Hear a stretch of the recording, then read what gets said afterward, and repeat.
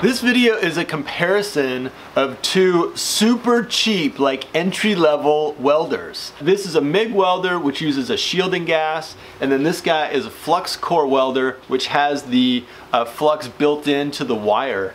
Um, I bought this guy on Amazon a couple years ago and have used it for quite a few projects. This flux core welder was sent to me for free a few weeks back. I know a lot of big YouTubers get like Lincoln Electric and Fronius welders sent to them.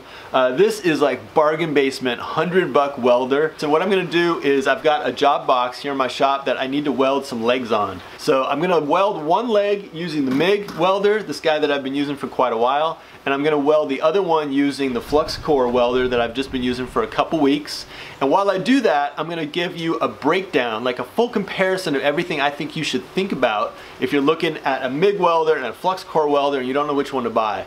All right, so the first thing I would consider is portability. If you need a really portable welder, the flux core welder is just gonna do it for you. This MIG welder on the left, it's it's portable, but it's gonna have a gas tank associated with it. And that gas tank, even a smaller one, it just makes it less portable.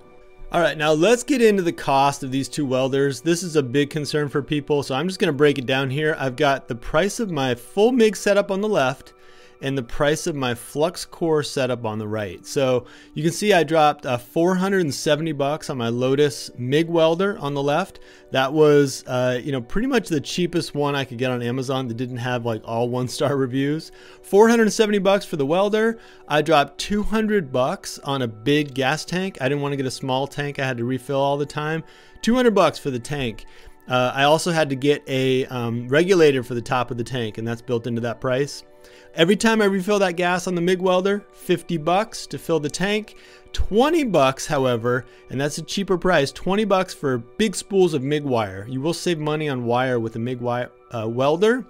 And then 100 bucks for miscellaneous expenses I threw in there. That's like clamps and magnets and gloves and helmet and stuff like that.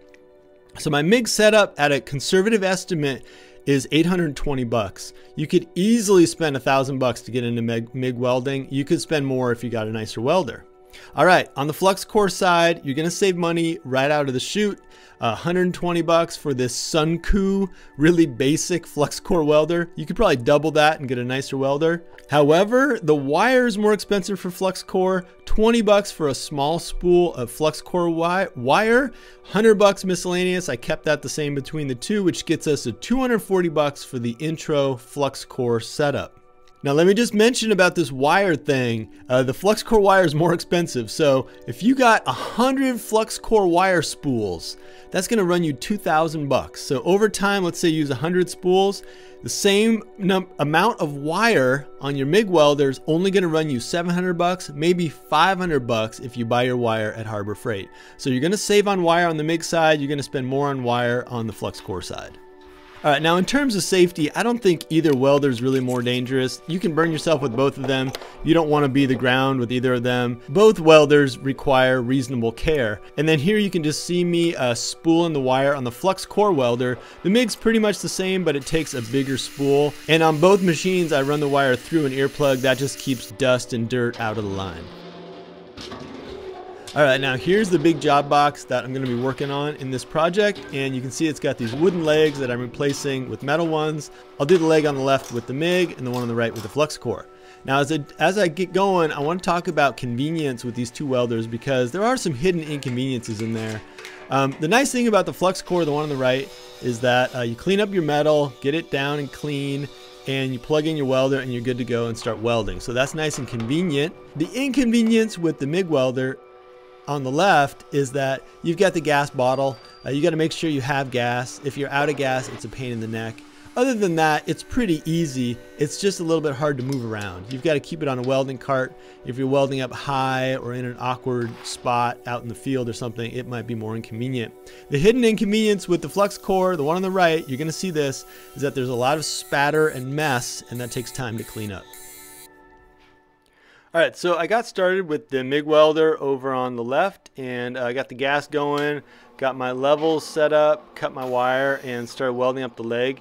Uh, you can see here that I'm putting a foot on the leg and the first thing I did is have some trouble with it. I was hoping it would just work perfectly and my settings I think were right. I think the gas wasn't coming out perfectly and the reason I mention that is just that even though I've been welding with MIG for over a year, maybe two years. I still every now and then have some hiccups. Uh, after putting that foot on, it did uh, get dialed in pretty well. So this is all just to say that there's a learning curve with these two machines. I think on the MIG side, the hard part is just keeping track of everything. You got to keep keep track of your wire speed, your gas, your heat, etc., and then also the um, you know welds themselves and the technique for putting them down. As for the flux core machine, which I'm going to start using here in a second, the main challenge has to do with that puddle. You just can't really see the puddle through all the spatter and smoke and whatnot. And not being able to see exactly what you're doing means your welds don't look exactly the way you want them to look always. Sometimes they actually turn out pretty good, but I think the learning curve with the flux core machine is challenging just in that there's some kind of mystery as to what's happening when you're actually welding. All right, now I'm not going to say a whole lot about accessories, uh, but with both welders, you're going to need some extras to go along with them in terms of a mask and gloves and magnets and whatnot uh, that I mentioned earlier. Like I said, I spent maybe a hundred bucks on accessories. You could go way over the top if you end up buying like a dedicated welding table or something like that. I also just want to mention that this FluxCore machine puts off some smoke, and you do want to get your head out of the smoke. Um, it's not good to breathe that stuff, and in some of this footage you can see that I was. I think one of the parts of that learning curve with the flux core is getting your head out of the way and kind of welding at arm's length instead of up close to your face. Next, I wanted to mention the power demands of both welders. Now, they're both 110, which is just your standard alternating current here in North America. But uh, this FluxCore machine actually needs a 30 amp breaker. I was running it on a 20 amp breaker and it just kept blowing it. Um, I switched over to 30 amp breaker and it's working just fine. So that's just one difference. Now I think if you got a different flux core machine, it probably wouldn't be a problem. I've seen a few other reviews of this dude and this flux core machine here on the right. I've seen a few other reviews and they also had trouble with the amperage, just it just pulling too high amp. So a 30 amp breaker to run the flux core machine that I'm using here and a 20 amp to run my MIG, MIG welder. I just thought it was worth mentioning. All right, so that gets us into talking about the quality of these two welding machines. You know, you don't want to weld something up and have it suck or fall apart or just look totally hideous. I think it's a, a mixed bag. It's not totally clear which one's better. You can see right here I'm welding up some holes on the right using the flux core machine and I just struggled with that. I set the, the heat down as low as I could. I had some low wire speed. I didn't think I was going to burn through and I just kept burning through. And now this is some older steel. It's kind of a little bit rusty, so it is thin in spots, but it gave me a little bit of a headache. Um, as you saw earlier, I also had a bit of a headache with the MIG machine welding something really simple. Now, on either machine, you can always clean it up with the grinder. People will tell you that, you know, if you're using a grinder to clean up your welds, you're not a good welder, and that's probably true, but man, sometimes my welds are chunky and nasty, and a grinder just basically cleans them up. Other times, uh, you know, I just find if I actually remove a weld with the grinder, clean it up, and start over, I do a better job. Anyway, what do I think about the quality? Let me say a few more things. Um, the MIG lays down a pretty weld. You know, you can see the puddle when you're welding. And when you can see the puddle, you can really manipulate it and, and keep it kind of exactly where you want it to be. And in the end, you can kind of get that weld to, you know, penetrate, be just the right shape and size and all that. So it's a cool process. I really do like the MIG. I know TIG welds are even more meticulous. Now, the flux core the quality of the weld ends up being pretty good, but you're just welding in this big kind of shitstorm of sparks and, and smoke and everything. So sometimes the weld quality is really awesome in terms of like the aesthetics of it, and other times it looks kind of junky. And I have not figured out exactly what I'm doing wrong when it looks kind of junky. Now, that's kind of an aesthetic thing the quality should also be judged based on like how strong it is or how it holds up.